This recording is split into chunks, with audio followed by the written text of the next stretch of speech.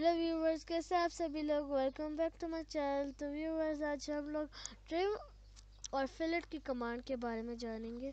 सबसे पहले मैं आपको एक ट्रिम आ, ट्रिम आ, की एक मिसाल दे देता हूँ।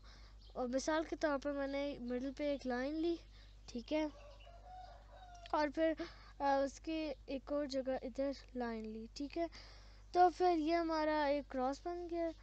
ठीक है तो फिर अभी हमें अगर इसे ट्रिम करना है ना तो फिर वो टी आर टी सॉरी वो आ, उसकी कमांड है इसकी कमांड है टी आर डबल एंटर ठीक है तो फिर इससे ये भी ट्रिम हो गया और ये ट्रिम नहीं हो सकता ठीक है तो फिर इसे हमने सिर्फ़ डिलीट करना है.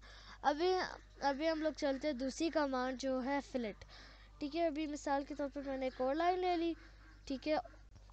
और फिर उसके बाद हमने फिलेट की कमांड ली है। एफ़ एंटर ये फिलेट की कमांड और फिर हम हमने इसको और इसको साथ में लाया। तो फिर ये हमारा बन गया फिलेट।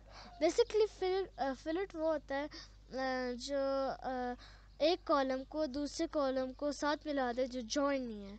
तो व्यूवर्स इसके साथ साथ हमारी आ, आ, वीडियो का एंड भी हो गया and don't forget to like share and subscribe my channel